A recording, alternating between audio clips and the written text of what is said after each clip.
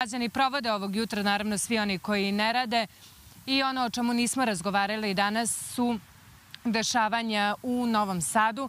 E, dakle, evo sad će vam malo kolega pokazati kakva je atmosfera dok ja budem pričala šta vas to očekuje tokom ovog dana? U okviru manifestacije Leto na trgu galerija možete e, čuti putopisno predavanje Jermenija živi susret, sa, živi susret sa drevnom kulturom. O Jermeniji će govoriti muzejski savjetnik Muzeja Vojvodine sami, a predavanje je u vrtu galerije likovne umetnosti poklon zbirke Rajka Mamuzića i ovo predavanje počinje u 21 čas, tako da ako ste voljni da čujete nešto o Jermeniji, svakako možete e, posetiti e, vrt poklon zbirke Rajka Mamuzića od 21 čas. Zvezde Granđa e, će nastupiti u jednom novosadskom lokalu i donose zabavu, a početak svirke je u 22 časa. Posetioci Svilare imaju još svega par dana da pogledaju izložbu e, pod nazivom Dolazimo, a projekcija filma Spirit of 45 e, i diskusija o istom održat će se u Crnoj kući. E, ovo je britanski dokumentarni film iz 2013. godine i bavi se razvojem socijalne države od kraja drugog svetskog rata u toj zemlji. Projekcija počinje u 21 čas. To su neka najavljena dešavanja za danas. Svakako sad već ovih dana počinju i druga velika dešavanja. Mi ćemo uskoro posetiti e, i kreativni distrikt gde će biti najava e, kaleidoskopa, e, tako da ćemo vas već sutra izveštavati šta su oni to najavili i šta će se sve dešavati u okviru ovogodišnjeg kaleidoskopa.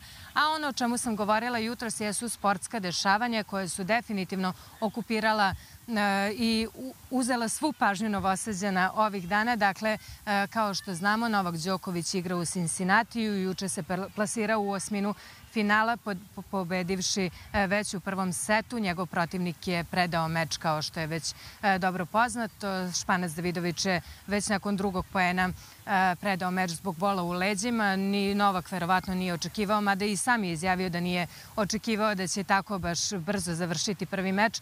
On će dalje nastaviti da igra, mi ćemo nastaviti da, da navijamo, a ovo je nekako samo uvod za US Open, ono što je takođe zanimljivo, što smo spominjali jeste da naše košarkaše idu na svetsko prvenstvo, da odbojkaši i odbojkašice idu na evropsko prvenstvo, tako da se već taj sportski duh uveliko e, osjeća među novosađanima i svakako su tu već nagađanja ko bi šta mogao da osvoji i koje mesto da zauzme kada Đoković igra, naravno sva pažnja je usmerena ka tome, tako se i noćas širom Novog Sada e, pratila utakmica, s obzirom da je radni dan i da je već bilo jedan posle pola noći, to su uglavnom bila neka privatna okupljanja, ali svakako su se e, mogli čuti uzvici i navijanje za našeg velikog Novaka. Verujemo da će tako biti i kada odbojkaši i košarkaši počnu da igraju. Kao što sam rekla, već su tu nagađanja. Ono o čemu se svakako je mnogo priča jesu košarkaši upravo zbog toga što Jokić neće igrati. O tome se priča već danima,